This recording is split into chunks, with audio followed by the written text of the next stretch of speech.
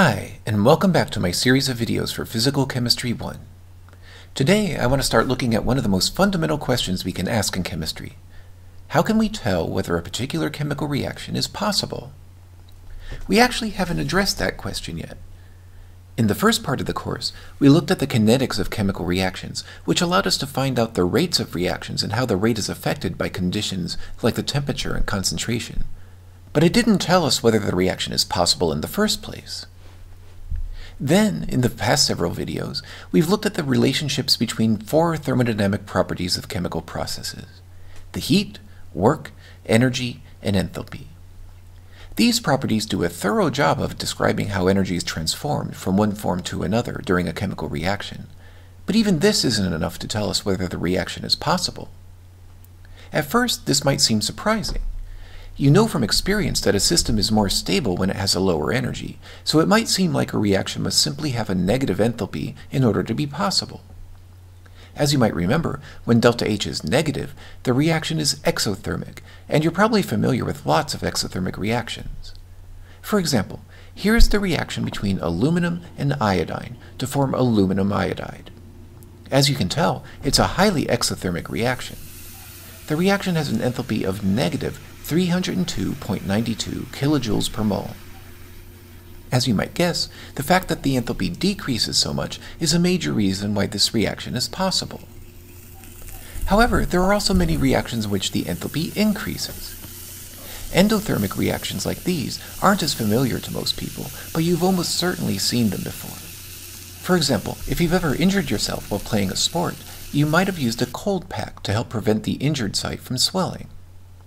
Some cold packs are actually stored at room temperature. The reason they get cold is that when the pack is squeezed, it breaks an inner container that releases one of the reactants of the chemical reaction. The chemical reaction is this one, in which solid ammonium nitrate dissolves to form aqueous ammonium ions and nitrate ions. This chemical reaction has an enthalpy of positive 25.7 kilojoules per mole, so it's endothermic. However, the reaction does occur spontaneously, even though the enthalpy increases. That shows us that the enthalpy change alone isn't enough to tell us whether or not a reaction is possible. What else do we need to know in order to predict whether a reaction can happen? The initial factor we need to know about is another thermodynamic property, but one we haven't discussed yet, the entropy. You probably learned about entropy back in your general chemistry course when you saw that entropy is a measure of the degree of randomness a system has. The more disordered a system is, the higher its entropy. However, that's a rather vague definition. How do we quantify the amount of disorder in a system? Today, and in the next couple of videos, we'll delve deeper into the definition of entropy and come up with a more exact definition for it. It turns out that every spontaneous process, such as a chemical reaction, always results in an increase in entropy for a closed system. That's a very important principle, so important that it gets its own name, the second law of thermodynamics. But let's reword this so that we use a more exact definition of the entropy. Another way of stating the second law of thermodynamics is that when a spontaneous process occurs, the spread of the distribution of energies the molecules have always increases. You might remember that the distribution of energies is called the Maxwell-Boltzmann distribution, and we spent a lot of time discussing the Maxwell-Boltzmann distribution and finding out how it works back in videos 11 and 12. So the second law is telling us that the width of this distribution must increase during a spontaneous process so that the molecules in the system are more likely to have a wider range of different energies. There are a few different things to notice about this idea. First, in order for it to be true, we must have a large number of molecules. If we only had one molecule, it wouldn't make sense to talk about a distribution of energies, because a single molecule can only have one energy at a given time. Next, notice that the complete set of possible states that a system could have is enormous. We call that set of states an ensemble. When we measure a property, for example the temperature, we're actually measuring the average of that property for the whole ensemble.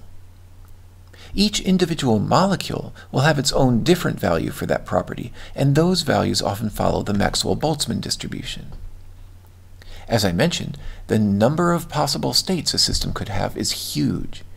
Each of the possible states is called a microstate, and the total number of microstates a system has is given by the symbol capital omega. So, now that we know that, we can restate the second law of thermodynamics in a more precise way. The second law says that a spontaneous process always results in an increase in the value of omega. So, the entropy is connected to omega, the number of microstates available to our system. Let's see how we can quantify that. Suppose you have a system that contains n distinguishable particles, and each particle can be in one of r different microstates. We could distribute the particles among the different states in many different ways according to this equation. This symbol may be unfamiliar to you. It's called n factorial, and it means that we multiply the integer n by every positive integer that's smaller than it is. So, for example, 9 factorial is equal to 9 times 8 times 7, and so on all the way down to 1. When we perform that calculation, we find that 9 factorial is equal to 362,880. So, our equation has n factorial in the numerator, and the product of the factorials of the population for each of the different microstates in the denominator. We can make this equation a little shorter by using this notation. Here, the capital pi is the symbol we use for the product of a series of different quantities. Just as we use the symbol sigma to indicate a sum of quantities, pi is used to indicate a product. Let's try using this equation. Suppose we have a system consisting of five particles, each of which could be in one of three different states. One particle is in state A, and two particles are in each of states B and C. In how many different ways could we arrange the system so that this is possible? We'll use this equation. There are five particles, so n is 5. In the denominator, we have the factorials of the number of particles in each of the states. When we perform the calculation, we get w equals 30. So there are 30 different ways we could set up the system.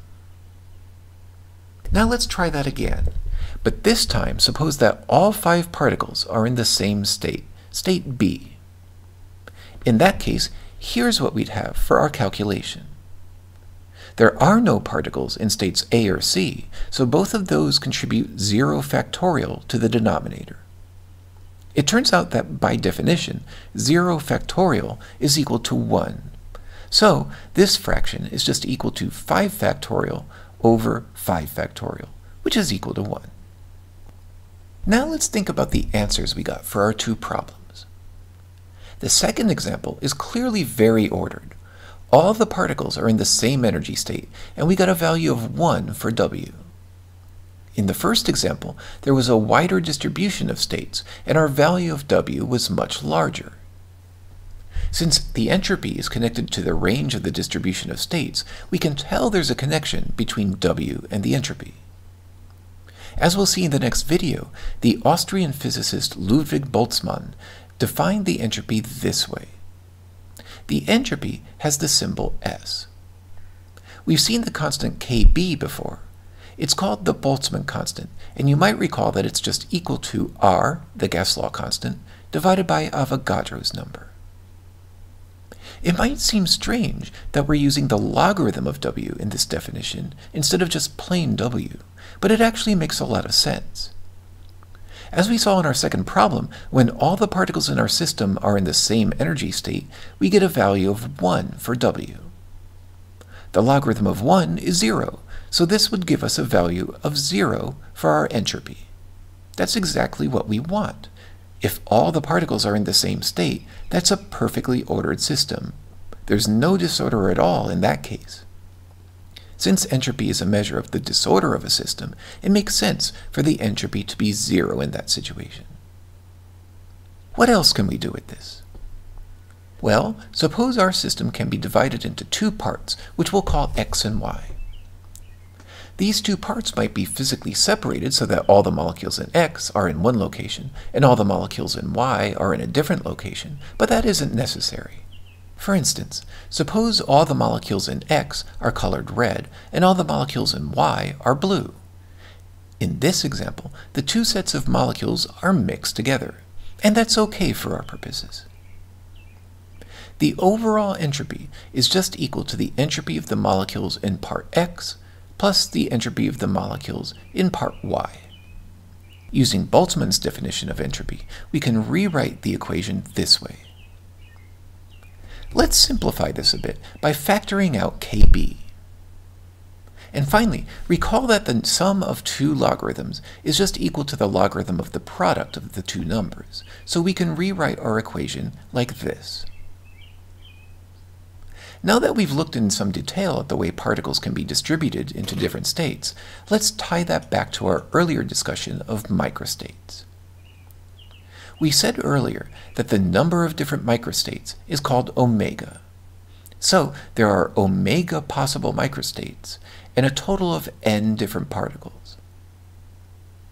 Suppose that each particle is equally likely to be in any of the omega different microstates.